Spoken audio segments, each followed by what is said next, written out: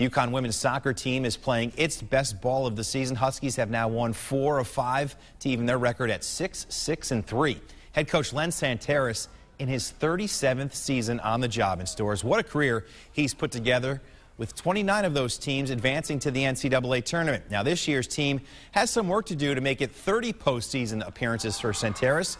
The Huskies are young and on the rise. Yeah, I mean, the young group uh, is, it's exciting. Uh, and is the greatest thing is to see them um, develop and, and be confident. We're putting together still.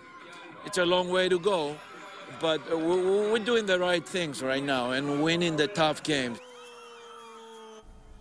Connecticut back in action Thursday when they play at Central Florida.